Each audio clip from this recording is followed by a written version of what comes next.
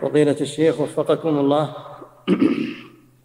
يقول قد جاء عن الخلفاء الراشدين رضوان الله عليهم أنهم كانوا يبعثون رجالا لتسوية الصفوف.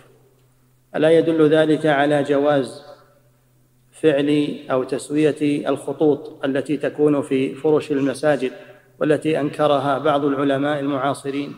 هذا تكلف نعم. أنكرها لأنها تكلف. وأيضا المأمومين يعتمدون عليها ولا يهتمون هم من أنفسهم ويعدلون الصفوف ويحاذون بين المناكب والأكعب المطلوب من من المأمومين هم أنهم يجتهدون في هذا. ما لا حطيت له خط ما هي تسوي شيء أبد. نعم. وأيضا رب لأنه ربما إذا إذا ما كان عنده خط أنه ما يبالي.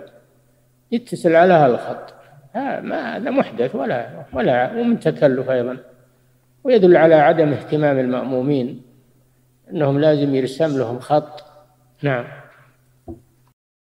إعداد مشروع كبار العلماء بالكويت أعزها الله بالتوحيد والسنة.